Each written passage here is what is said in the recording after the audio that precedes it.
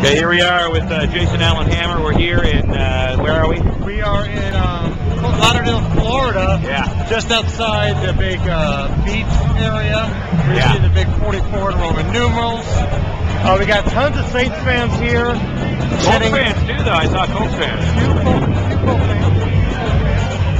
Um, two days before the Super Bowl, uh, city finally coming to life a little bit. It's good to see a little bit electricity here tonight. Palm trees are blowing, that's for sure. We just got done having a pretty good rainstorm, what, about an hour ago. Uh, everything's still pretty wet outside, but still, it's 70 degrees on February 5th for Indiana. Thank you. It's got a foot of snow. What's up? Word. Here's happening.